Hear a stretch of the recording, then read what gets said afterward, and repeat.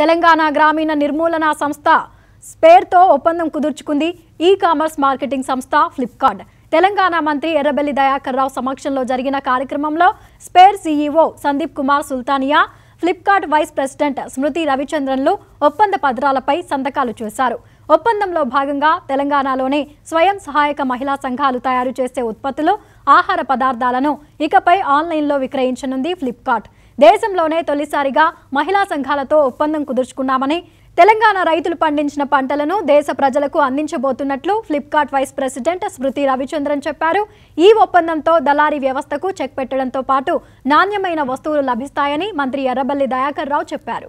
Self గ్రూప్లతోటి ఒప్పందం చేసుకోవటం తెలంగాణ ప్రభుత్వం తరఫున వారి కృతజ్ఞతలు ధన్యవాదాలు తెలియజేస్తున్నాం.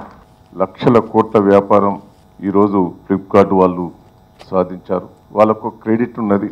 వాళ్ళ ద్వారా అమ్ముతే ప్రజల్లో పుట్ట విశ్వాసం పెరిగి ఇంకా లాభం జరిగే అవకాశం ఉన్నది. ఈ కంపెనీ ఒప్పందం వల్ల మన ముఖ్యంగా మన మహిళా సంఘాలు బాగుపడాలనేదే నా కోరిక అని కూడా ఈ సందర్భంగా మీకు తెలియజేస్తున్నాం.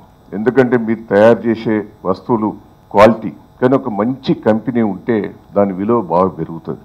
అదే మహిళా సంఘాలు ఇచ్చే ప్రతి వస్తువు వాళ్ళు మనస్ఫూర్తిగా ఒక నాణ్యమైన ఇచ్చే మహిళా సంఘాలు ఉండడం కూడా ఈ తెలంగాణలో గర్వంగా నేను ఫీల్ అవుతాను తెలంగాణ ఎస్సీఆర్పీకి ఫ్లిప్కార్ట్కి మధ్యలో జరిగే ఈ ఎంఓయుకి మేము ఎంతో సంతోషంగా ఉన్నాము. Actually this is the first state we're doing this kind of